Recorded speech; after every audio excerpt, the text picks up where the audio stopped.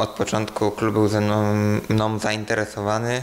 Yy, Nawet już w połowie sezonu, kiedy mój wynik nie był jakiś yy, świetny, więc tutaj yy, zawsze była chęć klubu z Gorzowa, żebym był ich zawodnikiem i moja także, bo zawsze tutaj przyjeżdżając świetnie się czułem na tym torze.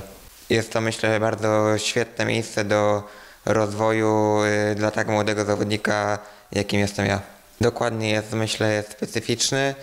Jest jednym z trudniejszych yy, w PG Ekstralidze, ale tutaj przyjeżdżając zawsze dobrze się na nim czuję i tak mm, będzie w następnych sezonach, że też będę tutaj się świetnie czuł i będzie to taki mój, e, myślę, atut. Na pewno chcę pojechać e, bardzo dobry sezon e, w PG Ekstralidze, dobre wyniki robić, solidne, żeby klub był ze mnie zadowolony, a indywidualne cele myślę, że sobie jakoś nie narzucam, no fajnie byłoby gdzieś, myślę, awansować do Speedway SEC albo do Speedway Grand Prix, ale to na spokojnie myślę, że jeszcze będzie na to czas. Przebiegały fajnie. E, Muszę powiedzieć, że jestem bardzo pozytywnie, e, może nie zaskoczony, ale już wiele negocjacji przeprowadziłem i czasami te negocjacje w tym naszym środowisku żużlowym wyglądają różnie, ale te były naprawdę i się posuwały, i były konkretne, merytoryczne e, i z każdą rozmową posuwaliśmy się krok do przodu